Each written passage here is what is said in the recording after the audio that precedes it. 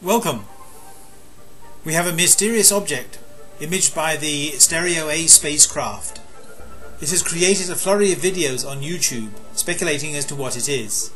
Is it Comet Elenin? Is it Nibiru? Is it Planet X? Is it the Death Star? Or is it a UFO? Well, we're going to find out today by going through the data and looking at it and deducing what the object is. Well, let's take a look at a video taken on the 26th of June of the object. This is the Stereo A C2 coronagraph image. The sun is blocked out by the big black circle in the middle. You can see the object to the right off the western limb of the sun. Those bright rays coming out from the sun are areas of dense solar wind called streamers. Now for a magnified view of the same movie, you can see that the object changes its intensity as time goes by, and if you look just above it you can see a faint star moving across the field of view, from left to right. That will be important to remember for later. Theories are running rampant as to what this might be.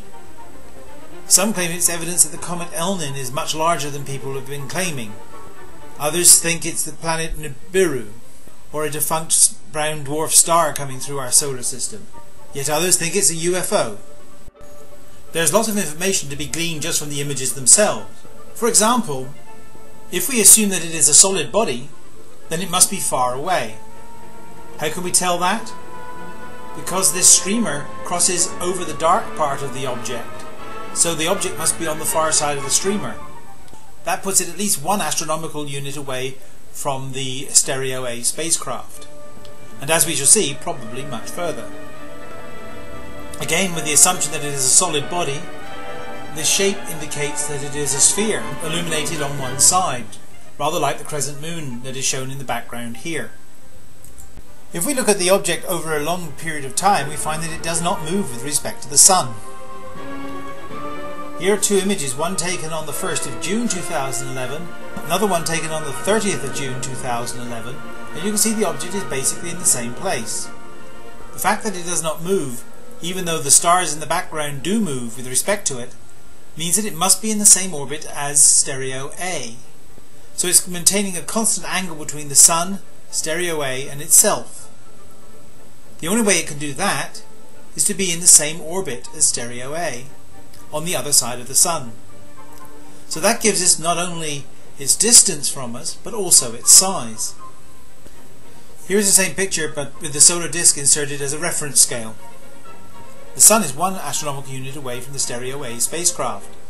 So that means that the object must be two astronomical units away from the Stereo A spacecraft, as its apparent diameter is about half that of the Sun and is twice as far away, that means its actual diameter must be about that of the Sun.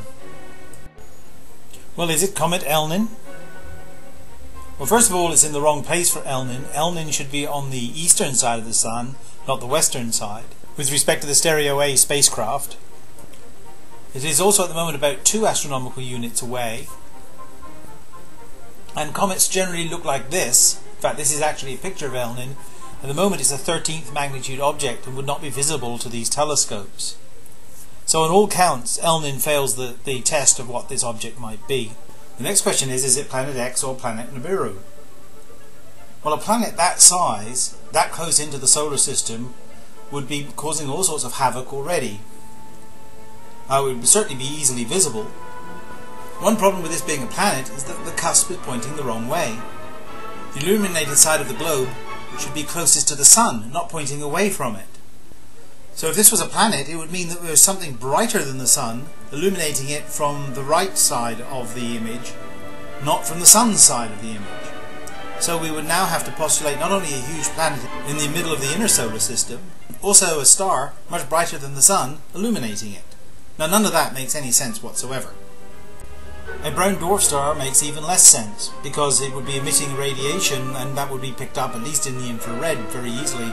There are many infrared sky surveys going on at the moment. So it's not a comet, it's not a rogue planet, nor a brown dwarf star. So what are we seeing? All these problems of size and distance come from the assumption that this is a solid body. But the illumination problem shows that it probably isn't. That probably means it's something arc-shaped like this.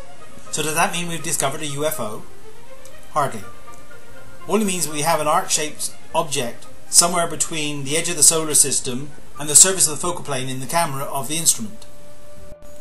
So the most logical explanation for the fact that the object must have the same orbit as stereo A is that it's actually on board stereo A.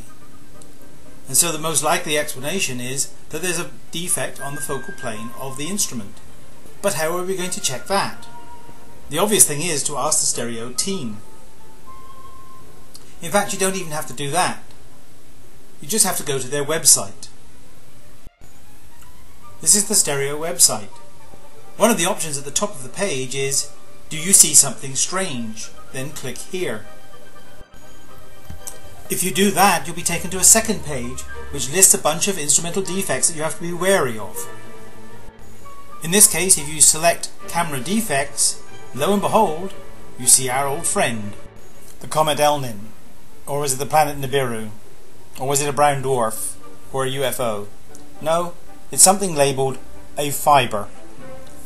Apparently a fibre from the instrument has got onto the focal plane and is causing this defect. If you check out some of the other options on that previous page, you can explain most of the uh, UFO videos on YouTube. For example, the cosmic ray subtraction is the explanation for those so-called fleets of spacecraft using the sun as a time portal.